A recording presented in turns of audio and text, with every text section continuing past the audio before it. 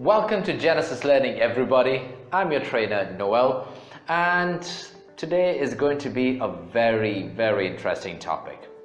You see, for many candidates, the IELTS essay is always a big thing that is hindering or an obstacle to achieving that great score or an overall good score for the IELTS.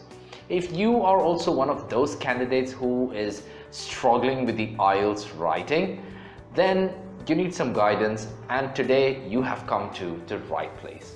In today's video, I'm going to teach some simple phrases or some word groups that can actually be used in your essay, mostly in your task 2. Let's start learning. Alright, so welcome back. The IELTS writing exam, as you know, is marked on four different criteria. Okay, the first one is your task achievement. The second one is your coherence and cohesion. The third is lexical resource. And the fourth and the final one is grammar. You see, each of them got a good contribution. They all contribute 25% each to the overall score. I'm just going to talk specifically about the coherence and cohesion. How you can achieve it? Well, you just need to use a variety of different phrases to link one idea to the next one so that the reader can follow what you are actually thinking. Clear on that? Brilliant. So let's start with what are the different phrases that can be used. If you are trying to express an opinion, okay, that something that you want is your personal opinion, then you can use one of these particular phrases. First one is you can use I think or I feel or I believe that. The second one that you can use is personally I feel that. Okay? Or you can also use as far as I am concerned. These three are good, but personally I think the next one that I'm going to give is even better. It is from my point of view. Now why I like this better is for the majority of your writing, you should avoid that I in your sentence. Too much of I did that, I did this, I think that, I believe is also not good. However, there is quite a bit of a debate on that and I prefer to actually go for that last one because it talks about my personal opinion but it doesn't actually use that word I. Okay, now let's move on to the next one. Say suppose you want to do some comparison. Okay, you want to compare or contrast two different ideas. Then you can use different words like however.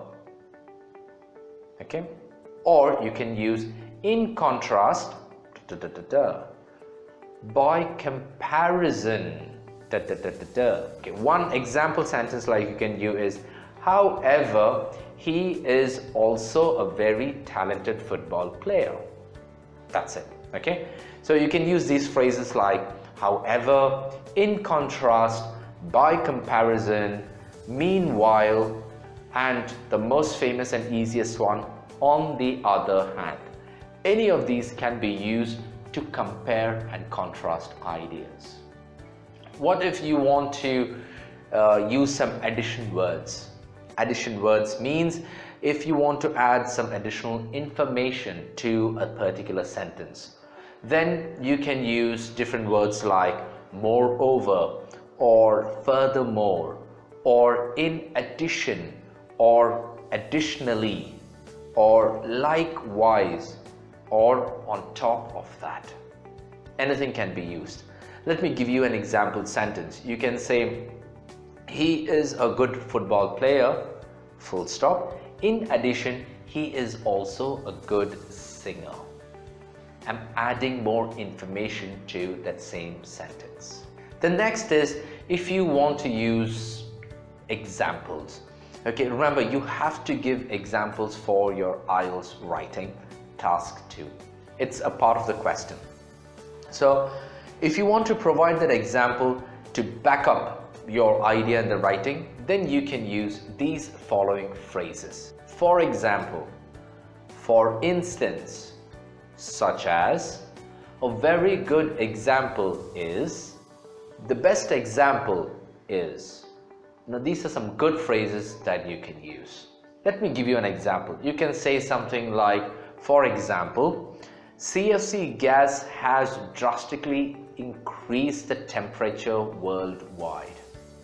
For example, or for instance, any of these can be used. The next would be to conclude. Usually for your task 2, that last paragraph is going to be a conclusion paragraph. And some of the best ways that you can start that paragraph or you can actually conclude any of the other paragraphs would be by using the following phrases. To summarize, in conclusion, lastly, finally, and to conclude with. You can use any of these particular phrases. So that's all for today and if you want to learn anything more from us on the different shortcuts to cracking your IELTS exam, then we are there to help you transform your life and also give you a fantastic coaching. All you have to do is log on to our website, check out the different packages and sign up with us. You can also get in touch with us through our contact form in the comment section right below. If you've enjoyed this video, you know what to do. Hit that like button and if you would love to join our YouTube community, then all you have to do is subscribe to our channel. Feel free to share this video with your friends if you found it informative and try to help someone else in their studies. Till we meet again, this is your tutor, Noel, wishing you a fantastic week ahead. Ciao.